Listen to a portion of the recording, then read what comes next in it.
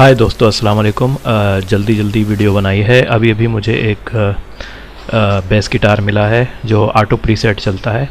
तो यहाँ हमने इंस्ट्रूमेंट बनाया हुआ है, ये देखें, और ट्रैक बनाया हुआ है, और यहाँ से हमने, कहाँ मिलेगी हमें ये, हम इंस्टॉल करेंगे रियल एट, ठीक है, रियल एट लिखें केटन टू पी डॉट कॉम पर जाएँ, और वहाँ सर्च बार में रियल एट लिखें, ठीक है, म्यूज़िक लैब रियल एट।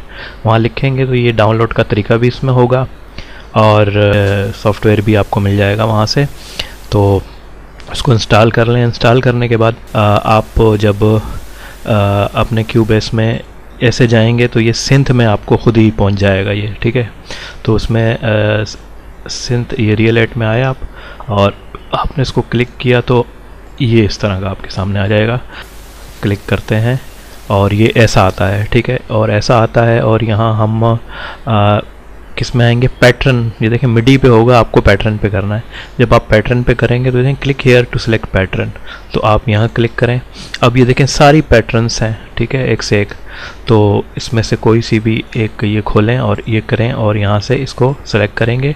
तो अब कीबोर्ड ये वर्चुअल कीबोर्ड अपना खोल लें, नहीं खुलता तो ये यहाँ से देखें, ये, यहाँ से खुलता है। ये नए लोगों के लिए बता रहा हूँ, जिनको पता है, नाराज़ ना हो। तो इसको आप दबा के रखेंगे। बटन को तो ये बजेगा। सही है? ठीक है अच्छा और ये रिकॉर्ड भी करता है, इसमें ये खूबी है। जैसे रियल गिटार करता है ना रिकॉर्ड ठीक है तो अब हम इसको बटन को दबा के रखते हैं और रिकॉर्डिंग भी दबाते हैं। तो ये देखें।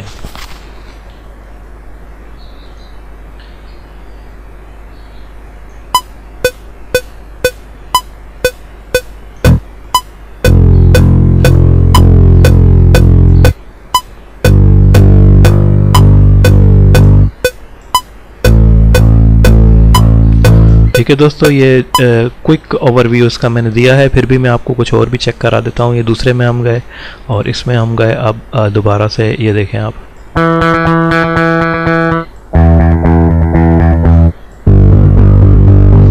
तो ये आपके सब ऑटो प्रीसेट जो हैं, आ जाएँगे इसमें और रिकॉर्ड भी हो रहा है, देखें और प्ले करके देखते हैं।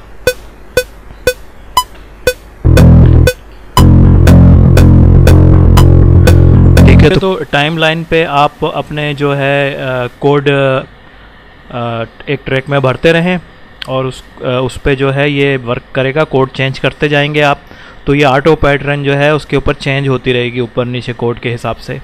तो बड़ी ही बेस्ट है यानी ऑटो बेस गिटार बजता रहेगा वर्चुअल बेस गिटारिस्ट है ये एक तरह का। और दूसरी बात आपको ये बतानी है कि ये मैं तो क्यूबेस सेवन में चला रहा हूँ ये क्यूबेस फाइव में भी चलेगा और आपको सिंथ के फोल्डर में ही मिलेगा क्यूबेस के अंदर, ठीक है?